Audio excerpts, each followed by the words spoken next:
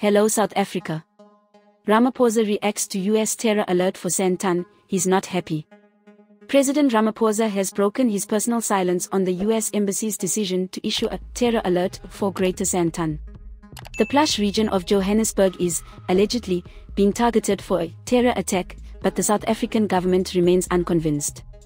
Speaking during a formal engagement on Thursday, Cyril Ramaphosa responded to the warning that was made public yesterday. The American consulate stated that people should avoid large crowds and gatherings in Sandton on the weekend of 29 to 30 October. They say the threat is credible, and sure enough, the British government has also issued its own alert. But Ramaphosa and his comrades remain somewhat bemused. When asked about the security issue this afternoon, it became clear that the ANC leader wasn't best pleased with it all. Ramaphosa told the media that the communication from the US Embassy was quite unfortunate. He also claims that no discussions were held with the ANC government before the alert was published. Furthermore, he fears that the warning has only served to cause panic. This is Leah for the South African.